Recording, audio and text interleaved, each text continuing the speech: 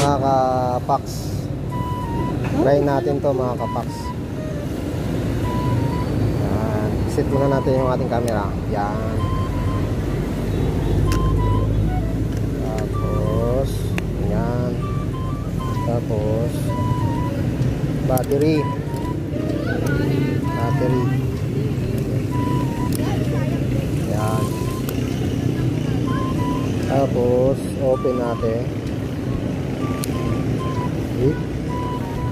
tapos sitting ano natin sit natin sa ano sit natin sa hindi maliwanag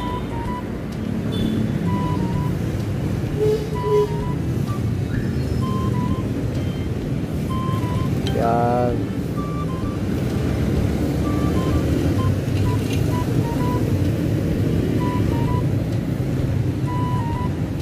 try natin tanggalin natin yung takip yan tapos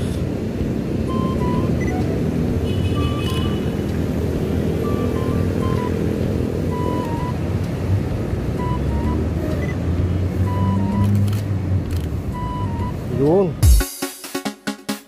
kuha nyo ba? ganda di ba?